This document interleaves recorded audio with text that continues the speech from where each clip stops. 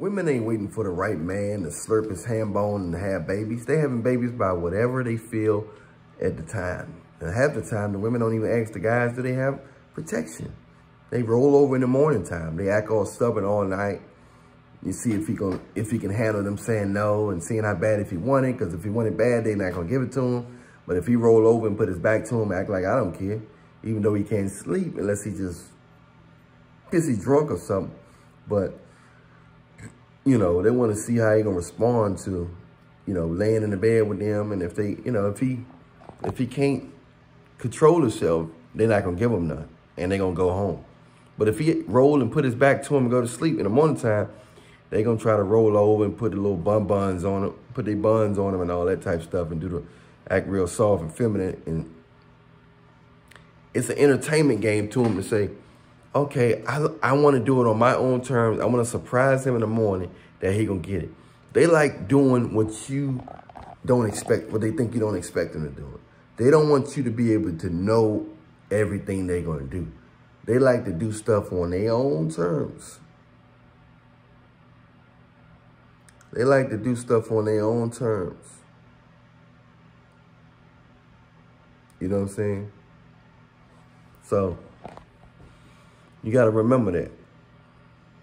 They like to do stuff on their own terms. They want to feel like they controlling the ball. So I'm going to give you this Buyami when I want to give it to you, not when you want it.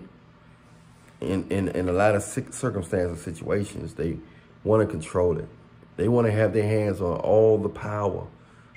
They want all the infinity stones. You understand? They want all the infinity stones. They want to control it all. So you got to understand that. So, you know, a lot of you guys change when you, you change when you think you got a good, when you think you got a good, um, when you think you got a good woman, some guys change.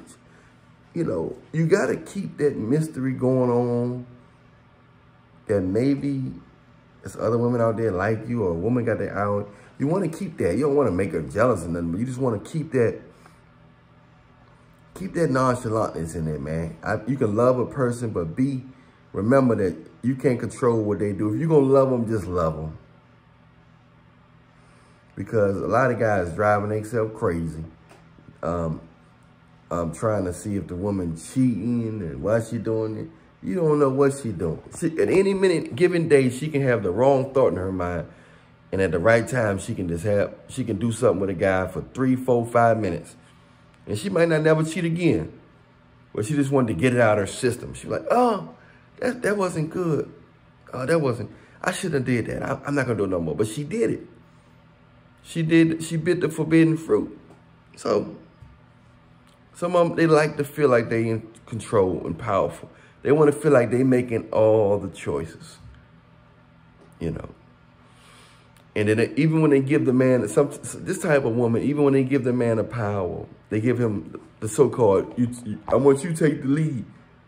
They telling you to take the lead. Like, I'm still in control, but I'm going to pretend like you, I'm going to pretend like you're leading right now.